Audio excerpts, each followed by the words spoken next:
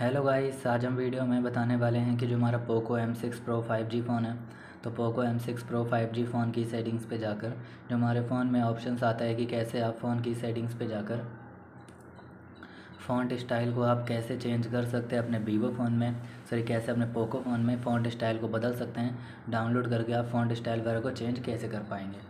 तो video start करने से पहले हमारे चैनल को लाइक करें सब्सक्राइब करें और साथ में बेल आइकन दबाना ना भूलें।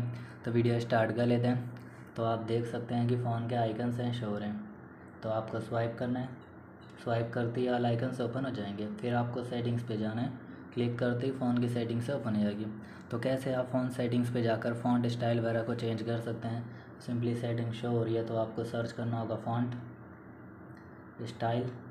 तो फ़ॉन्ट स्टाइल सेटिंग्स आ जाएगी जिस पर जाकर डायरेक्टली आप यहाँ से फ़ॉन्ट स्टाइल को बदल सकते हैं और चेंज कर सकते हैं।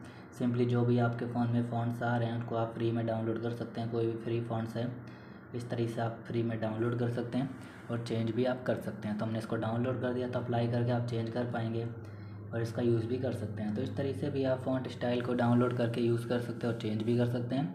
अगर आपको सेटिंग्स नहीं मिलती है तो आप डिस्प्ले सेटिंग्स पे जाकर भी, यहाँ से भी फ़ॉन्ट स्टाइल को आप चेंज कर पाएँगे। माई अकाउंट सेटिंग पे जाकर तो माई अकाउंट सेटिंग से आपके फ़ोन में ओपन हो जाएगी। इसका यूज़ करके आप फ़ॉन्ट सेटिंग्स पे जा सकते हैं। आपको इस पर जाना है और डिफरेंट टाइप के फ़ॉन्ट स्टाइल शो हो जाते हैं, जिसको अप्लाई करके आप चेंज करते हैं। कोई भी फ़ॉन्ट स्टाइल जैसे आप अप्लाई करते हैं तो चेंज हो जाएगा।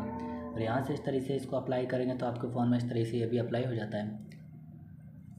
तो इस तरीके से आप फ़ॉन्ट स्टाइल को चेंज कर सकते हैं अपने पोको फ़ोन में। तो आपको वीडियो अच्छी लगी तो लाइक करें सब्सक्राइब करें। साथ में ही बेल आइकन दबाने ना भूलें। थैंक यू नेक्स्ट वीडियो के लिए इंतज़ार करें। थैंक यू आपको वीडियो अच्छी लगी तो